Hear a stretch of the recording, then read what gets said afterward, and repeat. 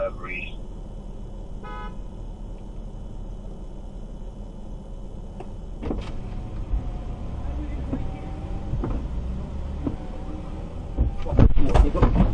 No, no, no. Run it, chill, nigga. chill. All right. Give me everything, nigga. Get out. All right, I don't Get got out. it. Get out. Get in the car. Get in the car. Get in the car. Get in the car, nigga. Get in the car, nigga. No, stop, stop, stop, stop. Wait, wait, wait, wait. Chill, chill, chill, chill. Where your man at? Where your man? Pull it back. Give me your money. Where your money at? Where your money at? Get in the car. Get in the car. Get in the car. Get in the car. All right, get in the car. Get in the car. We gonna shoot you. No, you say get in the car. Get in the car. Open Shop. Open the door. Let me Open it. Let me open it. Oh, you know, I'll, give you everything. Get in here. Get Get in the car. Get in the car. Get in here. That's what I'm doing. Get the fuck in here. Ain't nobody in here. Ain't nobody in here. Why you doing all that, man? You what? I want to talk to you. About what? I About what? talk to you.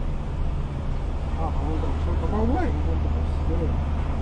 Why you ain't holler at me? What you mean, shawty? Give me the book. Bro, I put on everything, bro. I try to call you, bro. I put on everything. I'll- So I'll why do ain't got your number? dirty, dirty. Cause I asked for your number. They told me to change your number. I'll, put on everything I love, bro. I put on my daughter's life, bro. Bugging though, son. You know I gave you Fucking 25k. I always did right by you. Yeah, but why you do me like that, Bro, I, bro? Harv, I always put money, put money in your pocket, bro. I'm scared, bro. I don't know. Then you feel like yo, extortion this, extortion that. Where the fuck is everything, man? I'm on the cover. Get in the car with us, man. Bye, nigga. Bye. What's the phone? Give me the phone. Get out You of gonna talk to him. You gonna talk to him. You gonna talk to him. car. Right, right. Get in the car. Get in the car. Get in the car.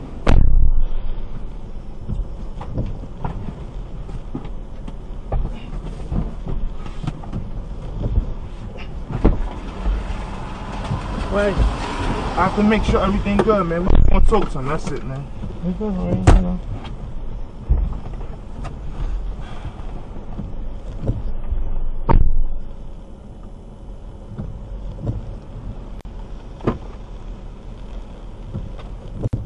El sistema OnStar no está activado. Para activar su servicio, presione el botón azul de OnStar ahora o llame al 1-888-4 OnStar.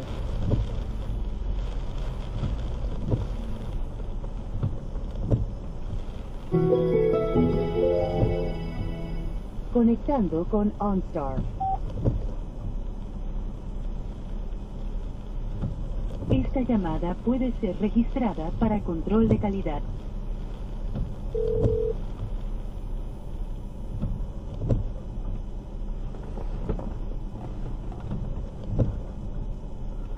Su llamada OnStar ha terminado. Adiós.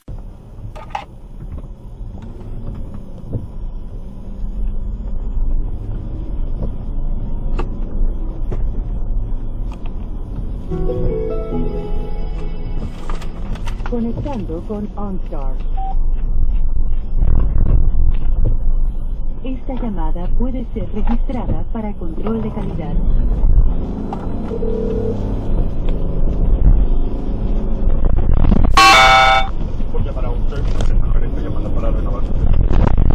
Hello. Hello. Buen día, Necesito que llame a la policía. Acaban de secuestrar a mi hermano.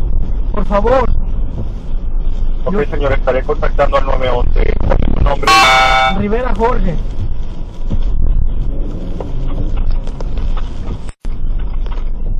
Te pongo una breve espera, ya regreso a la línea, ok.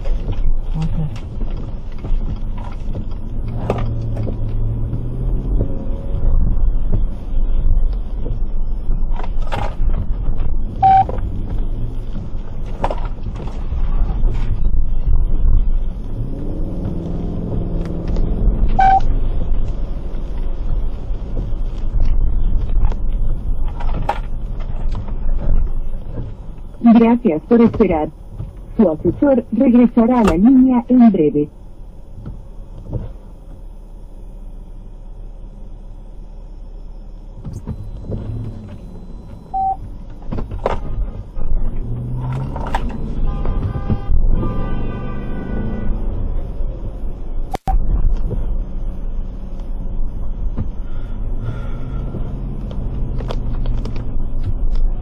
Gracias por su paciencia. Tenga la seguridad que nuestro equipo trabaja rápidamente para ayudarle.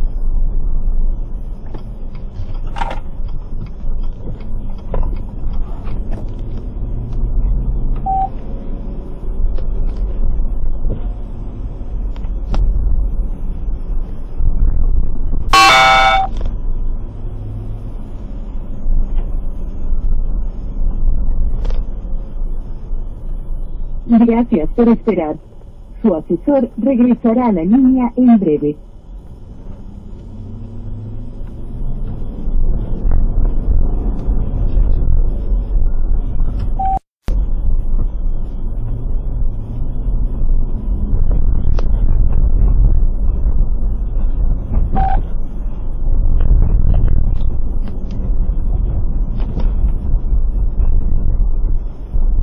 Gracias por su paciencia.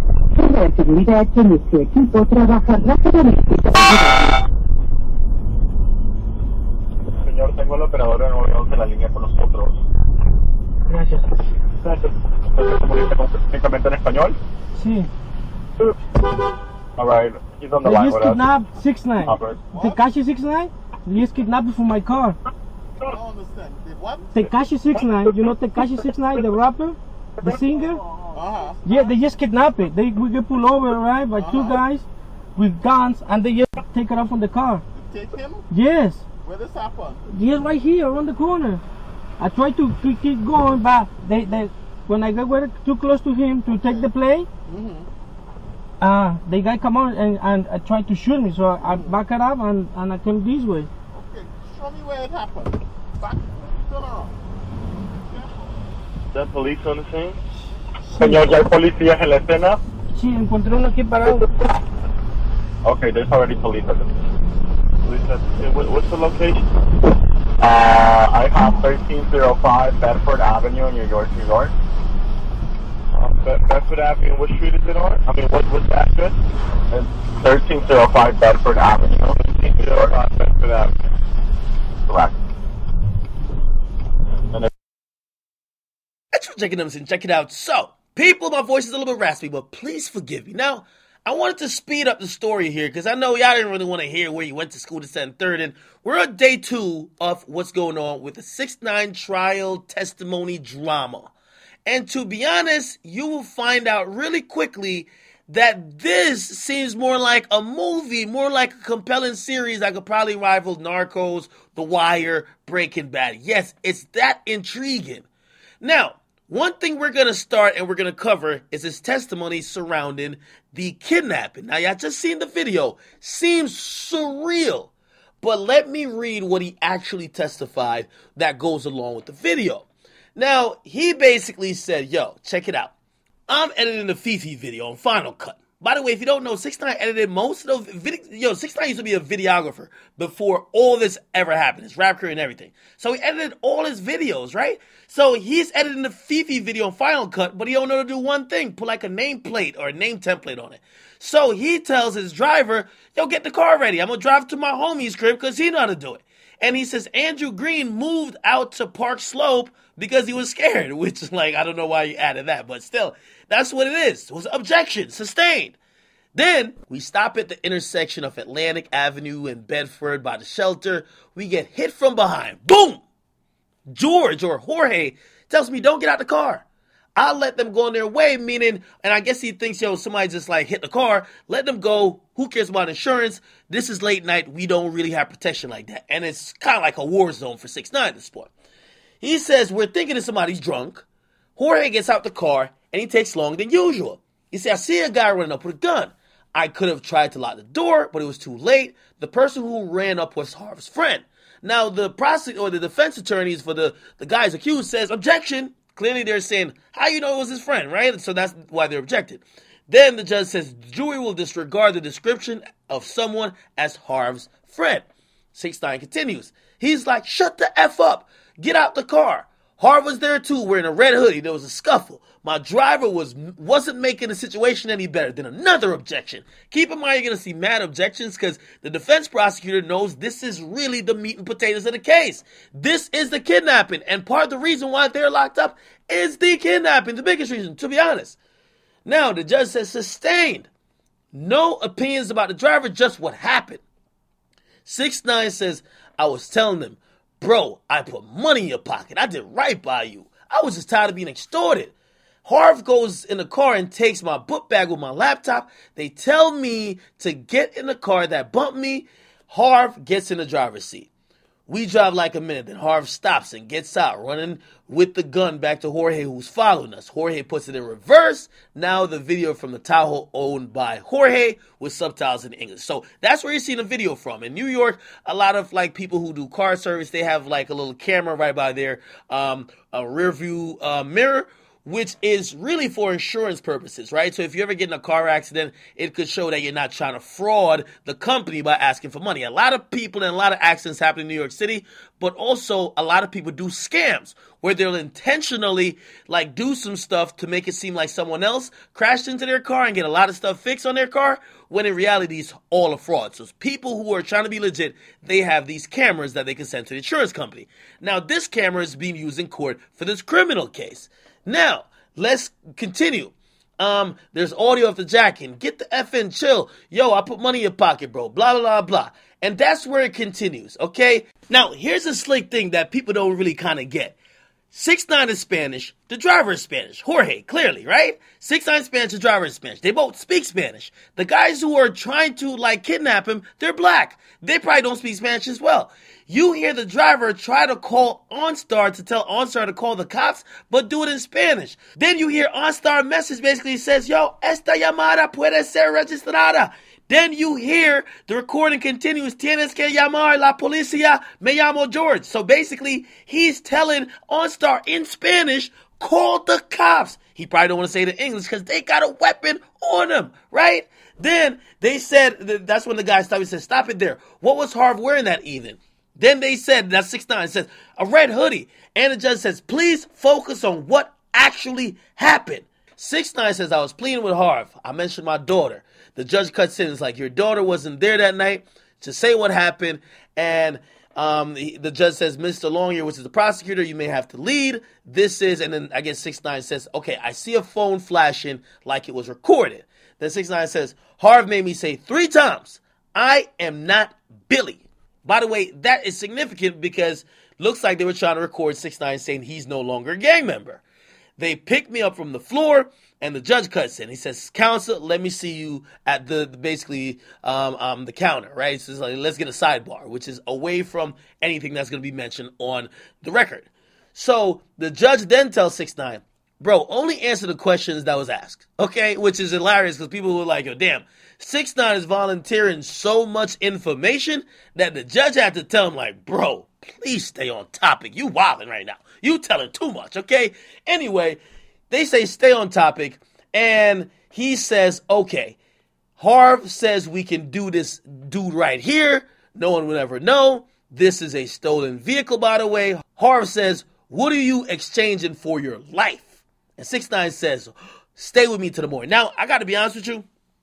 In trying to find reasons why he's probably cooperating, this is big to me. Imagine somebody says, What are you willing to exchange for your life? So they pretty much tell you, we're down to kill you, but you may have a chance to walk out of this alive. And it then tells you really people's intention. You now you have to go about looking at everything different because your life hangs in the balance. So if you get out this situation, are you gonna be sympathetic and not want to testify on them dudes? What? Come on, man. Bad people gonna be testifying, right? Again, this goes to speak to his mindset, right? Six nine then says, "Yo, listen, I'll give you a hundred thousand in the morning when the bank opens." And Harv says, "Nah, I mean, smart choice by him. I ain't waiting till the morning when you could get the cops and all that, and we're not going to no bank, right? So what you got right now?" He said they drove to Kingston, which is where six nine moved to after Locust, and he and he says we came to an agreement. If I came, if I gave him my jewelry, they would let me go. He asked the mother of his daughter to bring the jewelry down. By the way, earlier in the thread, apparently the jewelry was put in like in a baby Pampers like box, and it was delivered to the kidnapper. Six nine then says they grabbed the jewelry. I was expecting to be let out of the car, but Harv just kept driving. They let me out behind Smurf Village. Harv said, "Get out the car." I said, "No. If I get out, you won't shoot me in the back." Harv says, "Man, get the f out the car, man." And then 6 9 says, Yo, so I ran. I took the first stuff I could. I jumped in the backseat of a car.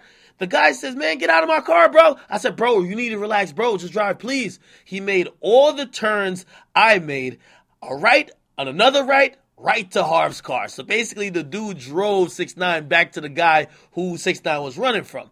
And 6 9 continues. After Harv drove away, I told a guy to drop me at the precinct by Quincy. I asked for medical assistance. I went to Kings County Hospital. Shotti got me discharged. He took me somewhere in Long Island at a hospital.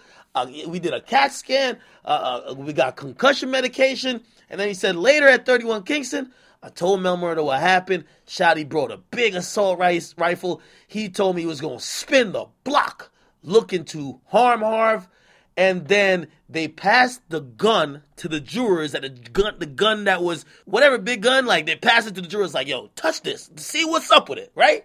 Then you basically hear the judge says hey we're breaking for the day. Let's be honest. The prosecutors have not done really asking 6 9 questions yet, going into the third day. And the defense hasn't got a chance to cross examine 6 9 at all. So he might be on the stand for the rest of the week, but certainly tomorrow he will be on the stand for the majority of the day.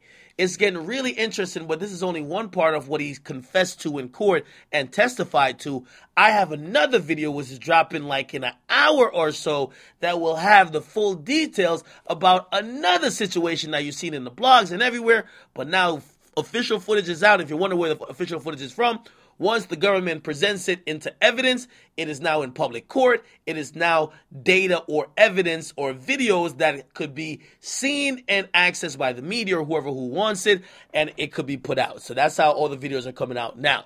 However, is keep getting more and more serious. There's more twists, turns, and all type of stuff. This is crazy.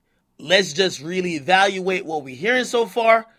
You would never ever believe this if this wasn't coming out in federal court. This sounds like a lie, but it's actually true. You're seeing the video, the surveillance tapes. You're seeing testimonies. All the guys are in court. It's so crazy and so surreal that it's within God's grace that no one died. I have another video coming out detailing really the Barclay situation. You guys get in comments. Make sure you guys like. Also, definitely subscribe. Please hit the subscription button. Follow me on Instagram because I'm also paralleling videos there too. It's more Akademiks.